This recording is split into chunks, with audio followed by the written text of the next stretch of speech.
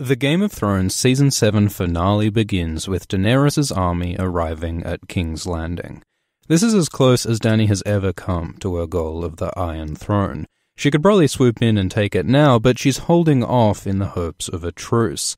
In her vision in Season 2, Dany approaches the throne and reaches for it but doesn't take it. Maybe this suggests that Dany will never win the throne. Jaime and Bronn watch from above and talk about the meaning of life. Is it gold, family, cocks? Bronn is one of the only characters in Thrones who's actually better off now than he was in Season 1. He's made money, been knighted, got people calling him my lord, while so many others have lost loved ones, or lost their heads, or their hands, or their cocks. Jon Snow also arrives at King's Landing. When his uncle Ned came to this city, he died. When Ned's father and brother came to this city, they died too. The Starks are never comfortable in the crowded capital. Jaime once said that Starks are made of ice, and when they come south, they melt. But as we soon learn, Jon is more than just a Stark. The groups meet in the ruins of the Dragon Pit. The Dragon Pit was built a few hundred years ago as a sort of a stable for the Targaryen dragons. But as Daenerys learned in Meereen, dragons don't like captivity. Over the years, the pit dragons grew smaller and stunted, which reflects the slow decline of the Targaryen dynasty. It also reflects the nature of magic in Game of Thrones.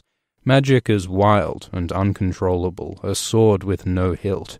If you lock a dragon in a box, it'll waste away, but if you let it loose, it'll eat people, so there's no safe way to use it which is why some people think that the Maesters of the Citadel may have deliberately killed off the dragons as part of a conspiracy against magic. Go watch that video. But everyone comes together in the biggest meeting of characters ever. Tyrion reunites with Bronn and Pod, who have both saved his life in the past. Brienne and the Hound talk about Arya like proud soccer mums, even though Brienne almost killed Sandor once. Other reunions aren't so happy. Tyrion sees his sister Cersei after he killed their father Tywin. Daenerys meets Jaime, who killed her father, Aerys. Theon sees Euron, who captured his sister Yara, and Jon meets Cersei, who helped kill his uncle Ned. There's also this awkward love square between Brienne, Jaime, Cersei, and Euron, so all of this history makes for a very tense scene. Bronn leaves early with Pod. Tyrion had just offered Bronn gold if he changes sides, and Bronn always said he looks after himself and doesn't want to risk his life fighting dragons. So it looks likely that Bronn will leave Cersei and maybe join Daenerys. But another possible reason why Bronn leaves is that there's apparently drama between Bronn's actor and Cersei's actress, and they don't want to be in the same scenes. The Hound threatens the mountain, which all but confirms Clegane Bowl, the idea that these brothers will fight to the death in the greatest grudge match in Westeros. Sandor has always wanted to kill his brother. They fought once in Season 1, and it looks like they'll fight a final time in Season 8. Since Gregor is now some kind of zombie, the Hound might need to use fire to kill him, which might allow Sandor to get over his fear of fire, which he got from Gregor burning his face in the first place. So Clegane Bowl is kinda silly, but it could give a neat sense of closure to Sandor's story. Daenerys arrives on her dragon. You can tell she's been practicing her impressive entrances. And Euron gets a hungry look, seeing the dragon. There's a whole plot in the books about Euron trying to use a magic horn to steal one of Dany's dragons. Maybe he'll try something similar in the show. Dany apologizes for arriving late and making everyone wait, which is a bit of a meta joke about the fact it's taken Dany seven seasons to join the main plot in Westeros. Tyrion starts a speech, but Euron interrupts and gets all aggressive and threatens to kill Yara, but Cersei shushes him. Cersei might have actually told Euron to do this, because it's useful to remind Dany's side that Cersei has a hostage, but shushing Euron's threat also makes Cersei look cooperative. It's kind of the opposite of how Littlefinger uses Lyn Corbray in Book 4, for those who are keeping score. Jon shows everyone the zombie, which is the first time most of these people have seen a white. Tyrion, Varys, Missandei, Theon, Brienne, Jaime, Cersei, they've all been mostly separate from the supernatural in this story, but now magic and politics come crashing together. Jon explains the threat of the army of the dead. With Qyburn, it's love at first sight, but everyone else is suitably spooked. Euron says he'll retreat to the Iron Islands, which is a lie designed by Cersei to make Dany think Euron's out of the picture when he's actually getting more soldiers for Cersei. Cersei says she's convinced and agrees to a peace on one condition. Jon has to swear to stay out of the war between Cersei and Dany. So this is a good strategy from Cersei. She's hoping to take away Dany's greatest ally and let Dany fight the dead while Cersei gathers her strength to later fight a weakened Dany. But Jon refuses Cersei's deal, and Cersei stomps out. Brienne tries to get Jaime to change Cersei's mind, telling him fuck loyalty, which is a neat reversal of their usual dynamic, with oath-keeping Brienne trying to teach honor to Jaime the Kingslayer. But the job of convincing Cersei falls to the man who Cersei hates most, her brother Tyrion. Cersei starts out hating Tyrion for a lot of the same reasons their father Tywin hated Tyrion for the death of Tyrion's mother in childbirth, and for Tyrion's mockery of their family pride. But Cersei's hatred of Tyrion grows through the series as he undermines her power, threatens her and her children, and sends Myrcella to Dorne. In season 4, Cersei accuses Tyrion of killing Joffrey, which he didn't, but then he kills Tywin, and ever since, Cersei's tried to have Tyrion killed. Cersei accuses him of wanting to destroy their family, even though Cersei has killed more Lannisters than Tyrion has. She blew up Uncle Kevin and Cousin Lancel.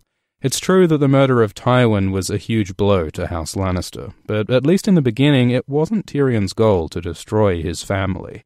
He loved Jaime, and he loved Myrcella and Tommen, and deep down, Cersei must know this, because when Tyrion tells her to kill him, she doesn't. Maybe she only wants to keep him alive to make this peace deal. But Cersei says she doesn't care about the world, doesn't care about anyone but herself and the people she loves. Tyrion works out that she's pregnant, the scene ends, and then they make the peace deal. So we don't know exactly what happens here, but it seems Cersei uses her pregnancy to show that she's got something to lose, to make Cersei more believable when she says she'll make peace. It's similar to when Cersei used her pregnancy to assure Jaime's loyalty. She's using her body as a strategic tool. As Cersei once said, a woman's weapon is between her legs. As always, Cersei uses her weapon to protect her power and her pride. Some people think that Tyrion might have offered Cersei something to convince her to make peace, like maybe that her child would be the heir to the throne or something. But does Cersei have much leverage in this situation anyway? It's in her interests to make peace, even if she gets nothing in return, so there may not have been a secret deal here between Cersei and Tyrion. At the Dragon Pit, Dany tells Jon that Mirri Maz Duur said that Dany can't have children, and Jon suggests that Mirri might have been wrong. They keep on bringing up Dany's fertility. Maybe she can have kids now. Maybe she always could, and Daario was just shooting blanks. It could solve this whole succession problem if Dany has a kid with Jon, and a pregnancy could also suggest that Dany might actually survive this series, at least for another nine months. Cersei declares that she'll make peace with Dany and fight with her against the dead, but later we learn it was all a lie, and Cersei will let Dany go north while she stays south and gathers her strength. Jaime argues that they need to go help defeat the dead, and that they won't defeat Dany in the long run anyway. Cersei points out that Dany has lost a dragon, which means that she can be beat, and she reveals that she sent Euron to Essos to hire a mercenary group called the Golden Company, using the gold from Highgarden. In the books, the Golden Company has a long history, and they're involved in Varys's complex conspiracy. Go watch that video. That sort of stuff won't be in the show, but they do have Oliphants, so that'll be dope. Point is, with the help of the Golden Company, Cersei hopes to defeat Dany when she returns from fighting the dead. But Jaime's mad. He's mad that Cersei didn't tell him her plan. He's mad that she's talking about marrying Euron. And most of all, he's mad about being forced to break his word to help Dany. Because all his life, Jaime's been hated for killing the king he swore to protect, Aerys Targaryen. Now, Jaime wants to ride with Aerys' daughter and restore his honor, do something selfless for once. Jaime stood by Cersei when she tried to kill his brother Tyrion. He stood by her when she killed Jaime's uncle and cousin and hundreds of innocents. But now Jaime realizes he can't be with Cersei and become the person he wants to be. And so, he leaves. Jaime rides north. Instead of rich gold Lannister armor, he wears black and rides a black horse, maybe hinting he could join the Night's Watch someday. But Jaime's final fate may be back at the capital. He and Cersei often say that they'll die together. Watch the Cersei video to see how that might end. As Jaime rides, snow falls on King's Landing. Winter is here. Up at Winterfell, Littlefinger leads Sansa to believe that Arya wants to kill Sansa and become Lady of Winterfell, which Arya herself kinda hinted last episode. And Sansa seems to believe Petyr, but later she teams up with Arya and turns against him. So, what changed? Some people think that Sansa and Arya had been secretly working together all along, that these arguments they had last episode were staged under the assumption that Littlefinger would spy on them, so he would think his plan to divide the sisters was working while they actually plotted against him. But this idea isn't really supported by the show. It's not clear what Sansa would gain by leading Petyr along. There's no evidence that Petyr would have heard these multiple private conversations. And if Petyr was a good enough spy to see these, wouldn't he have also heard their real plans? An interview with Bran's actor suggests that these Sansa Arya scenes were real, but at some later point Sansa asked Bran for help and he told her that Littlefinger misled them, and only then did Sansa team up with Arya against Petyr. So there was no complex hidden plot. The Starks were just really slow to work out that Littlefinger was playing them, even though Sansa already knew Littlefinger's been playing her, and even though Arya is a highly trained spy and lie detector, and even though Bran knows everything, so this whole plot was a pretty huge fail from the Stark siblings. But they now realize that Petyr is their enemy and accuse him of his crimes. Killing Lysa, conspiring to kill Jon Arryn, lying about this dagger to cause war, betraying Ned, and giving Sansa to the Boltons. Littlefinger falls to pieces and totally fails to defend himself, even though he probably could. The Starks have no hard evidence of Petyr's crimes, apart from the word of a crippled boy who claims to be psychic. Surely the master schemer Petyr could talk his way out of this, just like he talked his way out of Lysa's murder in the first place.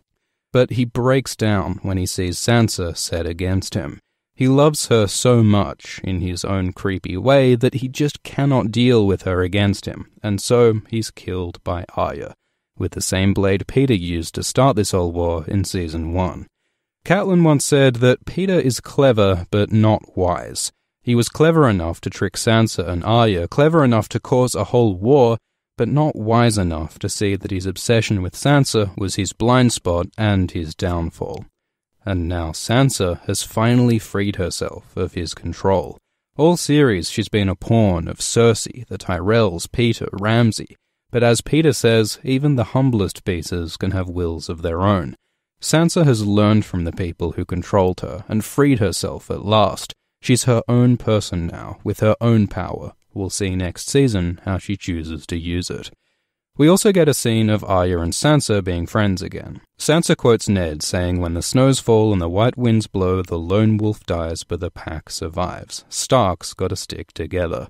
Might have been better advice if Ned said, Hey, if you're thinking of murdering your sister, ask your psychic brother first to check if you're being little fingered, but it did work out in the end. The Starks are united. At Dragonstone, Theon tells Jon about how he felt growing up at Winterfell. He felt torn between his Greyjoy identity and wanting to be a part of the Stark family, and that conflict led Theon to commit his crimes, betraying the Starks, capturing Winterfell, killing Rodrik, killing innocent kids, he has suffered for his crimes, Ramsay saw to that, and he's tried to redeem himself by saving Sansa, but he still feels guilt and feels torn between Greyjoy and Stark. So Jon gives Theon the forgiveness and the acceptance that he needs, says that Theon can be both a Greyjoy and a Stark. So, with his character conflict fixed by Opequeno Los Dos, Theon sets off to save his sister Yara. But first, he has to win over his Ironborn crew, and he does it the way Ironborn do violence. On the one hand, it might feel kinda cheap for Theon's long and complex character arc to climax with a fist fight. But on the other hand, this scene really does capture the meaning of Theon's Greyjoy identity. He gets beaten down and defeated, but then he rises again, harder and stronger. No matter how bad he suffered, how bad he fucked up, he can survive and persist and succeed. After the fight, Theon baptizes himself with salt water, born again like he was in season 2. But this new identity he's forged is stronger than before. He gathers his 20 good men and sets off to save his sister. Sam arrives at Winterfell and meets with Bran, who he helped through the wall back in season 3. Bran says he remembers everything, and he confirms the biggest, oldest secret in Game of Thrones that Jon Snow is the child of Rhaegar Targaryen and Lyanna Stark. Rhaegar is Daenerys' brother, and Lyanna is Ned's sister. Twenty years before the main story, Rhaegar ran off with Lyanna, even though Rhaegar was married to Elia Martell and Lyanna was promised to marry Robert Baratheon. So Robert started a war against the Targaryens, killing Rhaegar, usurping King Aerys, and making himself king. Lyanna died giving birth in Dorne, and Ned Stark came home with baby Jon Snow and claimed Jon was his bastard in order to protect Jon, because Robert would have killed him if he knew he was the son of a Targaryen. So that's the R plus L equals J theory, and readers have known about this for years, but Sam says something that not even Bran knew, that Rhaegar annulled his marriage to Elia Martell and secretly married Lyanna, meaning that Jon is not a bastard, but a legitimate child of Prince Rhaegar, which means Jon's the rightful heir to the Iron Throne, ahead of Daenerys. A lot of readers suspected this too. There are heaps of hints in the books that Jon would be king, and people have speculated for years about a secret marriage. One idea was that they would be married on the Isle of Faces, because that's near where Lyanna met Rhaegar, and it has a bunch of weirwood trees. Weirwoods are used in northern marriage ceremonies, and greenseers like Bran can see through weirwoods for their visions, so maybe this will be how we learn of the marriage in the books. But this idea of annulment raises questions. In the books, it seems as though you can only annul a marriage if it's unconsummated, if the husband and wife haven't had sex. Rhaegar and Elia had two kids, so could their marriage be annulled? Maybe in the books, Rhaegar will just marry Lyanna in addition to Elia. The Targaryens do have a history of polygamy. But another weird twist is that Jon Snow's real name is apparently Aegon Targaryen. Aegon is a popular name because it's the name of the conqueror who first took over Westeros and founded the Targaryen dynasty. But the weird thing is that one of Rhaegar's other children by his first wife Elia is also named Aegon. So Rhaegar's three children are named Rhaenys, Aegon, and Aegon. Why? One possible reason is that Rhaegar seemed to be naming his children after Aegon the Conqueror and his two sisters, Rhaenys and Visenya. Rhaegar was really into prophecy and thought his first son Aegon would be Azor Ahai, maybe with his two other children, Rhaenys and Visenya, forming the three heads of the dragon, another prophetic thing. Point is, he might have expected his child with Lyanna to be a daughter and to name her Visenya, but when Rhaegar died and Jon turned out to be male, Lyanna would have to come up with a new name, and by that time Rhaegar's first son Aegon was dead, so Lyanna might as well name this new kid Aegon for the Conqueror and maybe to commemorate the dead Aegon. But it might still be a different name in the books. Some people think Jon will be called Aemon, as a parallel to Jon's mentor and ancestor, Maester Aemon. Or maybe Jaehaerys, one of the better Targaryen kings whose name starts with the same letter as Jon. But they say a blue winter rose by any other name still smells as sweet, so maybe the name is unimportant. What matters is that Jon is half Stark and half Targaryen, which connects nicely to what Jon told Theon earlier, that just as Theon can be a Stark and a Greyjoy, Jon can be a Stark and a Targaryen. We also get our first glimpse of Jon's father, Rhaegar Targaryen. He's perhaps not as pretty as he's described in the books, but he does look a lot like his brother Viserys. Maybe Viserys was imitating his brother's look.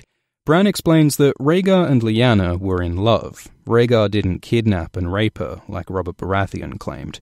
And so, Bran says, Robert's rebellion was based on a lie which might not be strictly true. Rhaegar and Lyanna weren't the only cause of the war. You could argue it really began when King Aerys killed Rickard and Brandon Stark, and demanded the heads of Robert and Ned. But still, this misunderstanding adds tragedy to Lyanna and Rhaegar's relationship, star-crossed lovers from opposing houses who both died young. But before we get too rosy eyed about it, remember we still know almost nothing about Lyanna and Elia's perspectives here. It sure looks like Elia was screwed over by her husband Rhaegar, and that Lyanna was a teenager who Rhaegar locked in a tower and used to produce a prophecy baby. So, in the books at least, there's still a lot to be explored about these relationships. While Jon's cousin Bran explains Jon's parents, Jon has sex with his aunt Daenerys, which is a whole lot of weird layers of incest. Tyrion listens outside and looks concerned. He might be a bit jealous of Jon, everyone's kind of in love with Daenerys, but he might also worry that romance between Dany and Jon could complicate the political situation. As Aemon once said, what is honor compared to a woman's love? If you're in love with someone, you might make decisions based on what's best for them instead of what's best for the kingdom. In Book 5, Barristan thinks of all the loves throughout history that have caused conflict, including Rhaegar and Lyanna's. So maybe Tyrion sees that Jon and Dany's relationship could be destructive. But, as Rhaegar knew, you can't fulfill a prophecy of ice and fire to save the world without breaking a few eggs. At Eastwatch, Tormund and Beric chill on the wall when the Night King arrives with his army, and with his dragon. Viserion breathes blue fire on the icy wall, and it starts to crack. The wall has stood for some 8,000 years. Built by the first men, children, and giants to protect the living from the dead, it's one of the hinges of the world. In Book 1, Jon thinks if the wall falls, the world falls with it, and now the wall falls. There is nothing between the army of the dead and Westeros. The fact that the Night King uses Viserion to take down the wall supports the idea that the lake scene last episode was a trap to take Dany's dragons, because otherwise the Night King was marching on Eastwatch with no apparent plan to pass the wall. So maybe the Night King, like Bran, is some kind of greenseer who can have visions of the future and past. His power must be limited. He'd win all the time if he knew everything, but this definitely makes the Night King even more dangerous. Some people think that Bran and the Night King are the same person, like that Bran went back in time and walked into this guy who became the Night King and lived as a White Walker for thousands of years and is now battling the past version of himself, which might help explain the psychic connection between the two. It's a fun idea, but there's no real evidence, and it'd require a level of time travel fuckery that might not really fit the story of Thrones as we know it, so it's a cool idea, but it doesn't seem likely. Finally, some people are worried that Beric and Tormund might have died here, but it looks like they run to safety along the wall. Beric's been talking about destiny so much that there's no way he's dying off screen. And Tormund's got to survive to make giant blonde babies with Brienne, right? So they'll probably be back in season 8. But who else will? Game of Thrones Season 7 killed the Freys, the Sandsnakes, the Tarlys, Olenna, Thoros, Benjen, and Littlefinger. So basically, all the Lords of the South are dead, along with some other loose ends. This lets Season 8 focus on the main conflicts further north, between Cersei and Daenerys, and between the living and the dead. Almost all the named characters are in the north or heading there.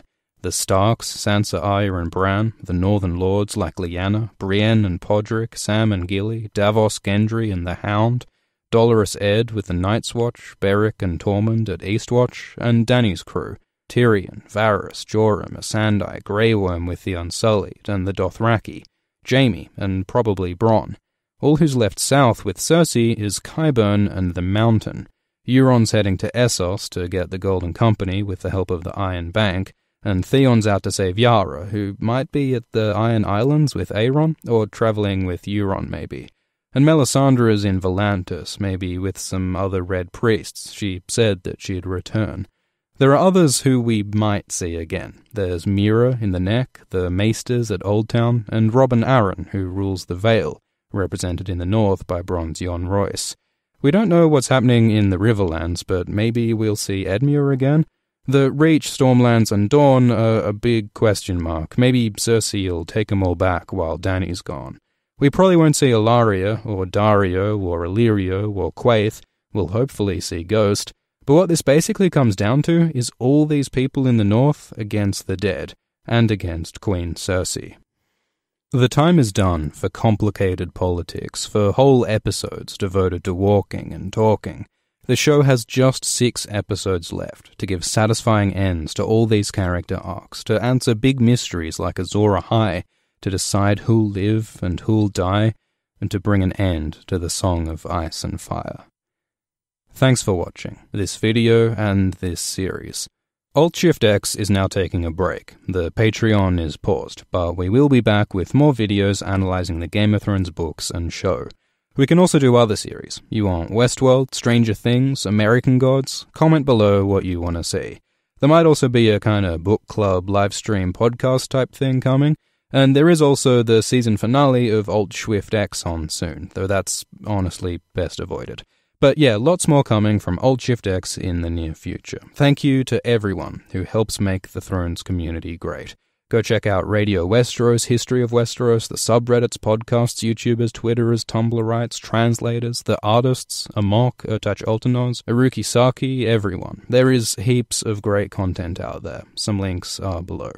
Finally, thank you to the patrons, including Vineyard Dog, Cameron Weiss, Reverend Xandria, Maryam Essa, Michael Appell, Jason Rattray, Alex Kirkendall, Ryan Steele, Eric Louis Dreyfus, Thee Stevie Franchise, Triangle Wine Company, AB3, Harry, I Love Mondays, Neil Choptikar, Owen C.K., Fred Petty, Lightcraft Miniature Studios, David Howe, Matthew Elisha Williams, Jake Berling, Chris Amos, Chris Cole, Craig Riley, Bobby Eels, Patrick Loring Scogland, Hank Lero, Clayton Anstein, Zach Gordon, Gina Penny, Kara Shutter, Valentine Deegan, Disco Dan, Jesse Deal, Hairless Oyster, Rege Holmberg, Stephanie Morris, Brandon Winslow, Ad Valenciano, Shiera Seastar, Aliopolo, Cardinal Doomsday, Kata Ernest, and everyone else who supports Alt Shift X. Cheers.